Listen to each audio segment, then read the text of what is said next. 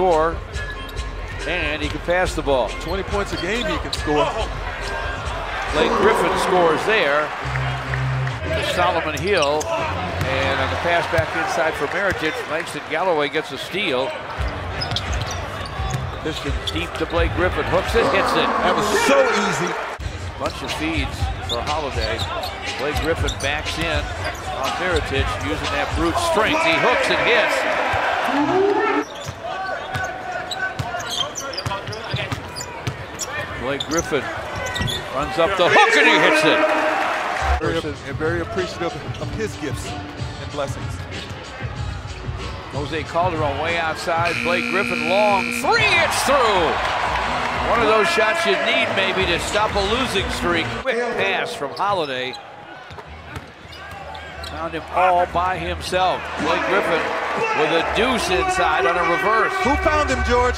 Plus 67, which is third in the NBA in this quarter. So That you got to be ready to go. Blake Griffin catch and shoot. Triple. That helps.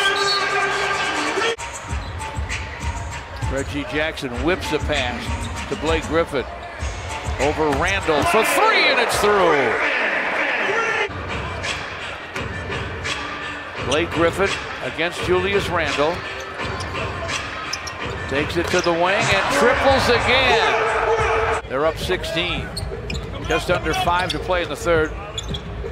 Blake Griffin for three, and it's through. Feeling it. Man hoping for a Piston comeback. It's now 83-69. Blake Griffin will help you out in that area. Lays it up, lays it in. And a foul called on Mirotic. Field goal, 10 minutes, 53 seconds of this quarter, George. It's been a while. Blake looking for one here. Hooks and hits. And they don't call a travel there. It's a six-point New Orleans lead. 31 points for Blake Griffin. Pistons are down 10.